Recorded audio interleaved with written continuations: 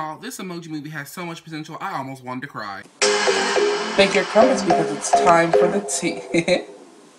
Hello everybody, welcome back to my channel. Welcome back to Tea Time with Marcelus. Welcome to my first ever movie haul. And so how I'm going to be doing my movie hauls is I'm going to be having a few movies that I've seen and then I'm going to be doing it from the least amount of tea I have on it to the most amount of tea I have on it. Y'all know what I mean? It's going to go from my least commentary to my most commentary. And so right now I have Spider-Man and then I'm going to do Girls Trip and then I'm going to do the Emoji Movie. We're going to start off with Spider-Man Homecoming because I have the least to say about it because I didn't really have any problems with it. I really loved how they did the beginning because they have Peter Parker vlogging his experience coming into Captain America Civil War. Now, I think that was so cool because he's so young, so we can all relate to vlogging and stuff. Like, I have a vlog. One of my first YouTube videos is a vlog of WonderCon. And so vlogging was such a thing for younger people to do because we travel and we go places and we do stuff. And so I think it was kind of funny to relate to millennials because he's supposed to portray as if he's like 16, 15, 16 because he's a freshman in high school or sophomore in high school. He's like an underclassman. And so it's quite easy to relate to the whole vlogging thing. And so it took a minute for his story to begin because he was vlogging for the first, I think it was like the first at least like five to 10 minutes of the whole, um, the whole movie. He was vlogging, and then it got up to the part where he was fighting with um, Captain America and stuff. And so I think it was really good. I loved Zendaya in this movie. I thought she was going to have a bigger role. I wish she would have had a bigger role. I remember back when there was talk about her being Mary Jane, and all these white people were going off. Mary Jane is white with ginger hair, da, da, da, just like the people who went off about their about Quvenzhané Wallis being Annie. Oh my goodness, Annie is white with ginger hair. Everybody everybody loves talking about some historical accuracy when it comes to a black person playing a role that was originally by a white person. Like, y'all have no problem with this whitewashing Scarlett Johansson person, but y'all have all the types of problem of any black person even thinking about getting casted in a role that was that was previously a white person. Like it just showed how racist the comic community can be because like it's okay for white people to whitewash, but we can't put a black person in the role of what a white person was. And even then, she wasn't even Mary Jane. And um, it's funny how they still made the love interest a black girl. It, I think that was like a little a little middle finger to those people. They still made the love interest a black girl. It just wasn't Zendaya. You know what I mean? And Zendaya played Melissa. I'm pretty sure that her that was her name, Melissa. And Melissa was she was she was just an activist. I loved it. Just her little one-liners here and there she she just basically was just there you know what i mean? She was there and she was in there. She didn't really play that big of a role in the movie itself. Like if she removed herself from the movie i'm trying to think if anything would have really changed. Not really but like there was a big part where she won this big decathlon for them because you guys i'm giving spoilers. So melissa won the decathlon and she became the president of the debate team and that's basically all she gave to the plot line besides like being Zendaya and just being there and giving little one-liners and stuff. But I liked Melissa because she was woke. she was woke because when they were at the um, Pentagon, she was like, I don't want to go into a building that was built on the backs of slaves. And I was like, oh my goodness, she is there. And she was always reading a book which means she was very smart and she was an artist. So she was actually she there was a scene where she was in detention just drawing people. She was like drawing their depressed faces and stuff. And so she was just she was just a nice fun character to add in there. You know what I mean? I didn't really have any problems with Spider-Man Homecoming. I loved that they were they were making fun of Captain America the whole movie. It was just hilarious just seeing him popping up. Because, like, when they were in school and they had like, these different videos for, like, PE and the PE test and detention and stuff, they had Captain America come in and do the little intros in his suit and everything. So they made him, like, this big commercial TV star in Spider-Man Homecoming. I, I like the fact that they had, like, the different, like, they had different scenes. They made Peter Parker seem like an actual normal kid in high school. Like he went through the same problems that kids go through today. You know what I mean? Peter Parker was very, very, very relatable. And not to mention Tom Holland is amazing. He was Peter Parker was just one of the most relatable Spider-Man characters to to to this day, I feel like he was the most relatable to me because I'm young too. And like I said with that vlogging thing, that's what pulled me in because who doesn't love a good vlog? You know what I mean? And it's a Spider-Man vlog. He's vlogging about him being Spider-Man. I think it was just great. I love the movie. I don't really have any complaints about it. And so that's going to move me on to Girls Trip. That's the next thing. The next T is Girls Trip. Now, I always wanted to see Girls Trip ever since I saw it because I have this theory. And this theory is every time there's a movie and there's a plot line, there's going to be a white version of the movie and then a black version of the movie. Now, when Girls Trip came out, I thought of that movie where those four white girls were going on what this honeymoon thing, this bachelorette party, whatever, and it came out and nobody liked it. But then Girls Trip comes out and everybody's loving it. You know what I mean? Like Atomic Blonde and Proud Mary. They're both assassins. But like you have Taraji. Henson over here and then you have that other chick over here in Atomic Blonde. But it's kind of the same plot line. You know what I mean? I don't know. I've been noticing that. Like whenever there's a plot, they always have a white version and black version. And so I'm just like, hmm what are they doing that for? And I'm like, that does appeal to all audiences, to be honest. And it's almost like I feel like since black people can't get casted in these white versions, then they just make their own version that usually sometimes outsells the white version. Like I'm just I've just been noticing that like like look at that. Like whenever there's a plot line, just look at when they come out because they come out around the same time as well. So there's like always a white cast and then a black cast. I've noticed that, and Girl Trip was no different. Like, the Girl Trip was a black cast, and of course, I loved it. It was so funny. However, my one thing with Girl Trip was that it was very predictable. Now, that could just be me because I can clock T that fast. But I was watching it and I was texting my friend and stuff afterwards, and I was like, did the movie seem predictable? As it didn't seem predictable because with me from the moment i sat in the chair because you know i was late because the movie theater put the wrong times on their website but i missed like only the first like 30 35 seconds of it whatever but i could catch on real quick so i sat there and i predicted i was like ryan and her husband have a fake marriage and i was like i already know it I was like, it's, I know. And then we have Ryan. And so Ryan was just, I just clocked the T early on. Like, and then when the girl who um, Ryan's husband was cheating on her with got pregnant, I did that too. Like, me and my friend were sitting in the back row just clocking all the tea with Ryan. And then we went over to Sasha and her storyline. And when Sasha was, um, she was a blogger, you know, she had this blog and she was basically like a celebrity gossip blog. And so I was like, hmm, that's going to come into play because there's going to be scandalous things about Ryan and her marriage, and Sasha is going to possibly report it, and Sasha's going to know the tea. You know what I mean? Because Sasha has a first-hand tea. Because they're all getting together for a girls' trip. Ryan is now big and successful, and she now has the money to treat all of her friends, the Flossy Posse, to a trip. They're all going to New Orleans for this, um, I think it was the Essence Festival, I think, that Ryan was the keynote speaker at. And so they're all getting together. And so I was like, they're going to find out some tea. And Sasha's going to possibly report the tea. But then Lisa and Dina, they didn't really have tea to clock. You know what I mean? They didn't really have tea to clock. But I loved this movie in general, though it was so predictable. It was just very, very, very predictable. Like, I predicted everything that was going to happen, but that didn't make it any less interesting, you know what I mean? Because of Dina. Tiffany Haddish. Oh my goodness, she made this movie. Let me tell you, between me just laughing at the fact how short Jada Pinkett Smith is, because she was just so short, and I didn't realize how short she was until I saw her with everybody else. And then Tiffany Haddish, she was just so funny. She's a comedian, and nobody has really heard of her that much before this movie. But she made this movie. Like, I'm telling you right here and now. If anybody else played Dina, the movie would not have been as dynamic as it was. It wouldn't have been nearly as funny. And it would have been way less interest because you never knew what Dina was going to do. Dina was a loose cannon. Dina was a loose cannon, and she just said what she wanted to say, did what she wanted to do, and had no cares about it. Dina was that girl. And I just loved her character altogether because it was so funny. She is what made this a comedy. Like, I feel like, really, if we took Dina as a whole out of the movie, I would not have enjoyed it. I really wouldn't have because the storyline to me was just so predictable. But that doesn't make it bad, you know what I mean? It just makes it predictable. Like Rotten Tomatoes gave it at 87.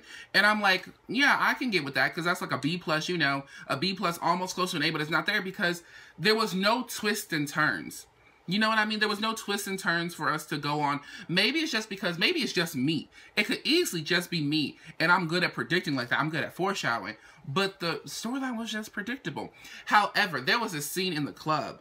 And I was not expecting this scene in the club. That was the only thing that hit me by surprise. There was a dance-off. There was a white chicks dance off. Y'all remember white chicks and they were dancing to Crazy in Love and they had that dance off. Uh oh, uh oh, uh oh. No, no. They had a dance off in the club. And they had like, it was basically younger girls against the older girls. And so we got the young girls over here moving and grooving. And then they started twerking. And I got very upset because I was like, you couldn't get any background dancers that could actually twerk. If you're going to twerk, please do it correctly.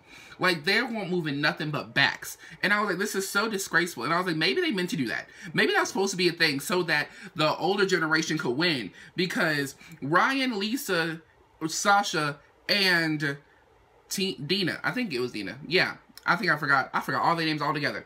All of them were schooling them. They had on some wigs, and they went in there and just showed them choreography. They showed y'all what a cohesive group looks like because they just gave y'all choreo. So maybe the younger generation was supposed to look a hot mess because it just was all over the place. However, let me tell y'all, those outfits were amazing. I loved the costuming for this movie. I loved it. I loved all the costumes, the dresses, especially with um the girl who Ryan's husband was cheating on with. I really forgot her name. I really feel like her name is Simone. It was Simone. Okay, I was right. My memory served me correct because I was like, I don't know who it is, and I thought her name was Simone. Her name is Simone. Okay, we're good. So Simone was looking right.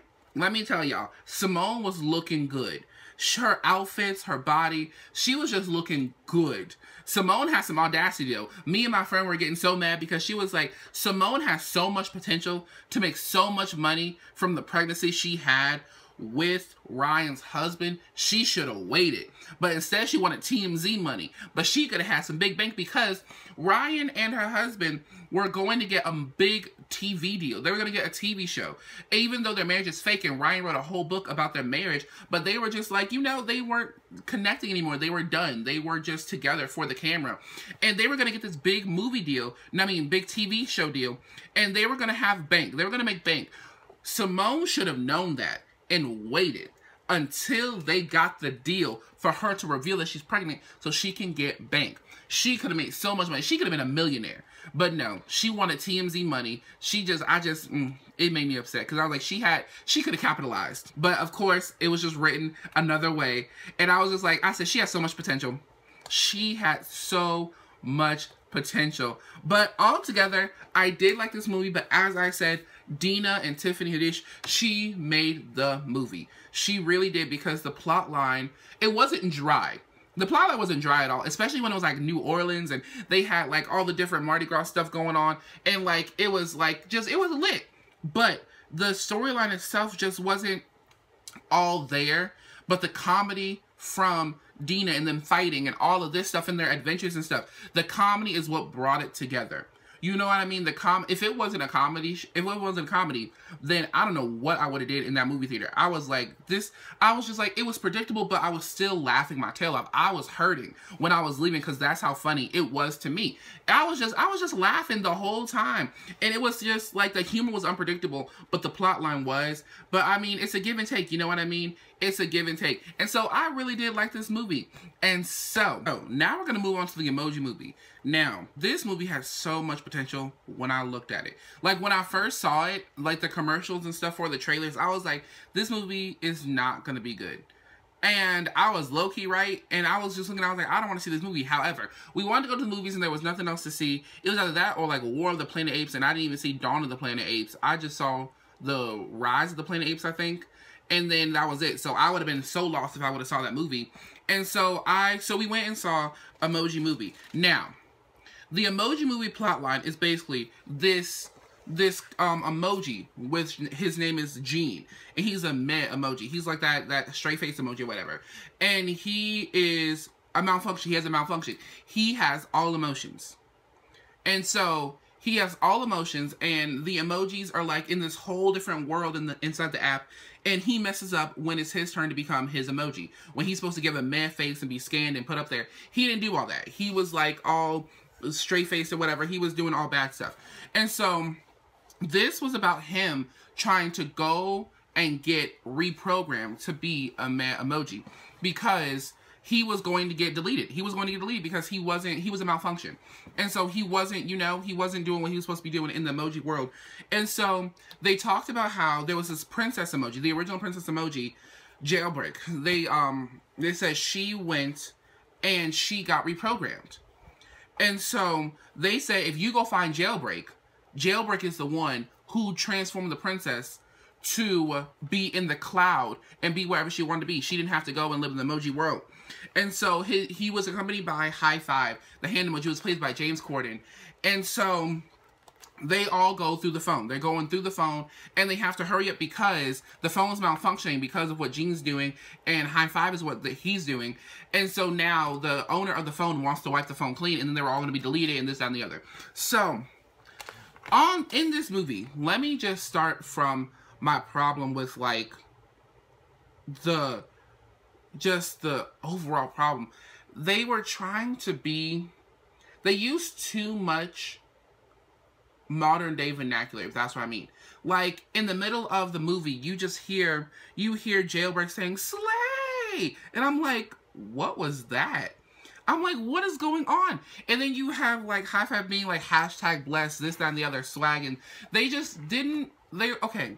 To be honest, they were using too much black vernacular.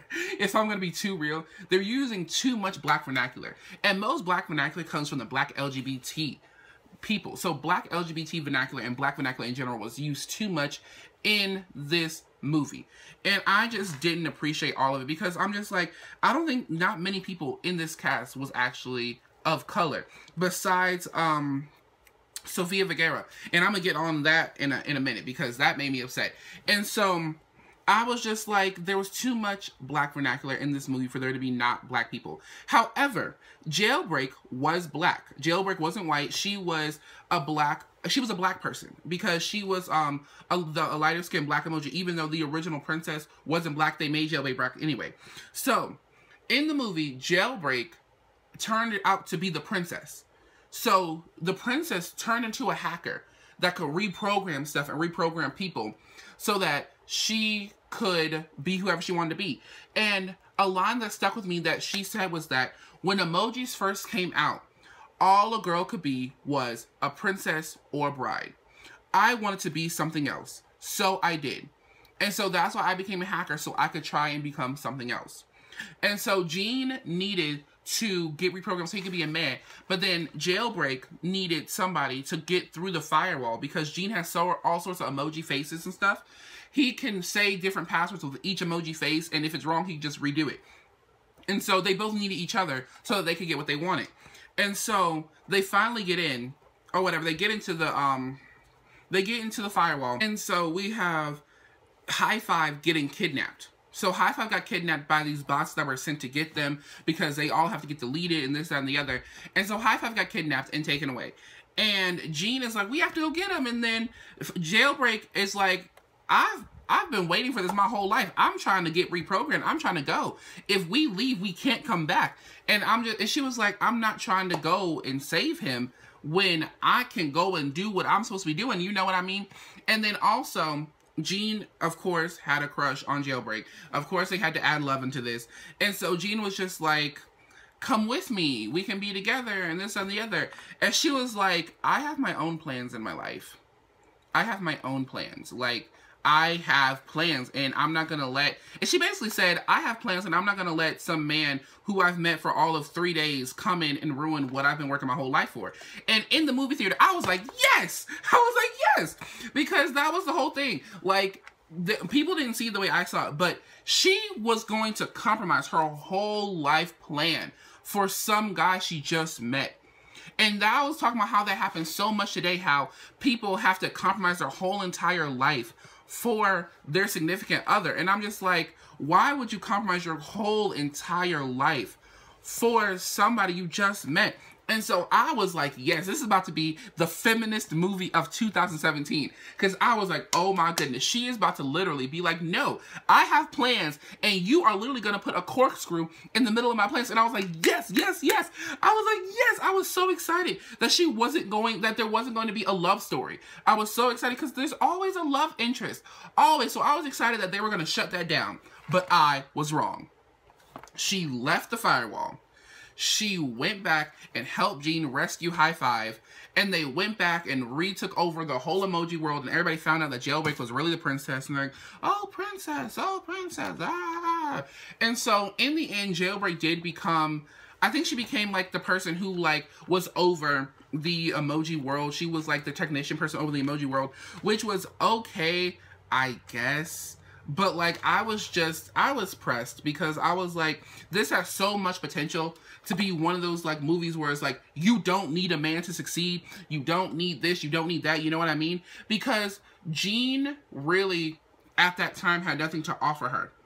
He didn't have nothing to offer her. She became a hacker. She could reprogram herself and everybody in the emoji world to be what they wanted to be. And that's what she wanted to do. She was like, that's why I that line just always sticks with me. When I was the first emoji, anything a girl could be was a princess or a bride, and I wanted neither.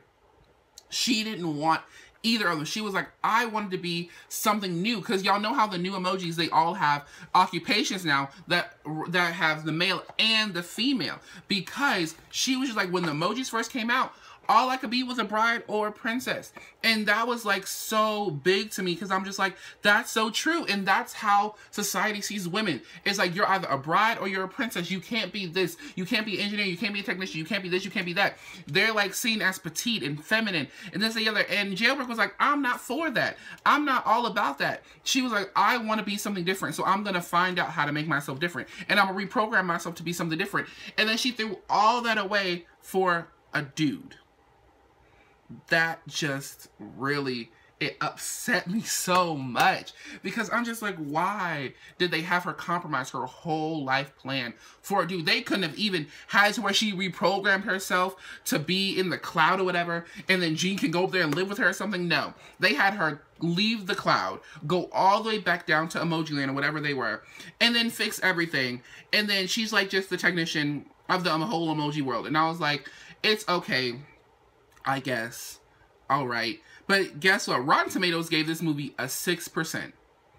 a 6%. And I can see why. Because without any of that, the movie wasn't that good. It really wasn't. It just wasn't that good. I had low expectations coming in, but then when I saw like jailbreak and the whole plot line like going with her, like getting over the fact that they used so much black vernacular and LGBT vernacular and they didn't give any of the credit to any of them anyway. So I'm just like, okay, that would have been that would have set the movie off. Even though the movie was horrible altogether, that would have set it off. Jailbreak not having a love interest. She they forced a love interest on her and she pushed it away. That would have made this movie actually something to look at. You know what I mean? Because that is in every movie. There's always a love interest. Always, always, always. And I'm like, why can't we have a movie where there's no love interests? Now, like, I just, I just didn't get it. I didn't understand it. And another thing that really got me was that Sofia Vergara, there was the flamenco dancer. The flamenco dancer in the movie. And at the end of the movie, they like actually got a close up on her. And I told my friend, I said, wait, is this flamenco dancer white? Because when I looked at this flamenco dancer, I saw no melanin. I saw no melanin. I was like, why is she white? Flamenco dancers are Hispanic. They're Latinas. They're Latinos. They're flamenco dancers. They're not white. And I was like, this flamenco dancer is white. And I was like, wait, what's going on? I like had this whole rant in the car about it because I got so mad because the flamenco dancer was white passing. And I was like, so who voiced it? So I'm like in there and I saw the credits and this is Sofia Vergara. And I said, wait, wait, wait, wait. So they got a Latina woman to play the flamenco dancer. She wasn't even a big role. She just had a few lines here and there. But you couldn't make the flamenco dancer even the littlest bit look Latina, I was so upset because I went the whole movie without even noticing the flamenco dancer was white or white passing. And I'm just like, I got so used to it that's the bad thing. Like, we get so used to whitewashing that we just are desensitized about it. And I'm just like, I couldn't believe it. I couldn't believe that they had the audacity to make a flamenco dancer white. And I was like, y'all have all these emojis of all different shades and colors and stuff. Like, I saw the dark skinned princess in the movie. She was, she didn't have lines or whatever. And then, but they had the dark skin emoji the dark skin princess emoji in there. They had the dark skin nose, I think. And they had they had a little bit of black diversity in there. But like for y'all to have this flamenco dancer and for Sofia Vergara to have her name in the credits before the even before the actual long credits roll up, she was like one of those names that popped up by itself. And you couldn't even make the flamenco dancer the littlest bit look Latina. What is the problem with representation nowadays? I don't understand. Just like Madame Tussauds and her Beyonce figure. Why is Beyonce white passing? These people are not white. Why are we trying to make them seem white? I don't get that. I don't understand that. Like, Beyonce isn't white. Sofia Vergara is not white. Why are their characters white? Why are they white? There should be no question in my mind if that's is that white is that a white woman? No, I shouldn't have to sit here and question it because it shouldn't be that way. You need to make a Latino flamenco dancer a Latina flamenco dancer because I've seen flamenco shows. I've seen flamenco shows. I've been to Spain and I've seen flamenco shows. My hotel had a, its own flamenco show. There aren't no white girls in the flamenco shows. They're all from Spain. They're all Spanish girls. They're all Latina girls. They're all not white. And for y'all to actually have the audacity to have a Latina person voice this flamenco dancer and actually not make the character itself Latina, it's just really trash. It's really trash. And so, like, at the end of this movie, when I saw the flamenco dancer was actually white, I said, you know what? This movie is trash. I was so upset and disappointed. That's why I said they had so much potential because they just ruined it. They just have so much potential because of how this was set up. This was set up as a typical love story. And Jailbreak could have ended that. Jailbreak could have just stopped it and went on about her business and then possibly came back after she did what she wanted to do. But no, they had her re-compromise her whole plan of life for Gene. And then, of course, it's like a happy ending and stuff. But I'm just like, why would they do that when they had so much? You know, like, I just thought of Cheetah Girls when I saw Jailbreak because I'm just like, you know, the Cheetah Girls, they represented feminism back then. They were talking about, I can slay my own dragon. I can dream my own dreams. My knight in shining armor is me. They were talking about they don't want to be Cinderella. They have girl power. They are all women and they can do whatever they want because they are women and they can do it. You know what I want? You know what I mean? Like, this had such potential and then they ruined the potential with going with the typical stories. And that's why this movie is not doing that well. And it won't do that well because it's not something that's different. You know what I mean? Like, I can literally look up this plot line and it'll be in so many other different movies that have already came out. Like, I can find a live action one. I can find a animated one. I can find one that's probably a play. Like, so this, this plot line is just so overused it's so overused. Where like the boy meets girl girls trying to help guy they both have an agreement and then in the end they both in the end the woman compromises her agreement to be with the guy or the guy compromises his agreement to be with the girl. It's usually the other way around though. I'm not pretty sure i'm pretty sure there's not a lot of things where the guy compromises his agreement to be with the girl or they both like or they both just give up whatever they wanted to be with each other and stuff and i'm just like what kind of feelings do people get in such a short amount of time that makes them want to compromise their whole life? Like, I'm just telling, love is such a strong thing, I guess. But this movie could have been so much better. It could have been so much more, but it wasn't. And it's very, very, very upsetting. Like, this whole movie in general just upset me it just upset me as a person. I just couldn't stand it. I just couldn't stand they have the audacity to pull that.